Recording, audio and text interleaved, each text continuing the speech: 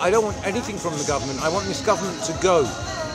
This government is the bloodiest government that is responsible for the demolition of Israeli society, of all good neighboring ties with the Arab neighbors, besides the terror which it's conducting amongst the Palestinians in the West Bank, and we don't even have to talk about what's happening in Gaza now.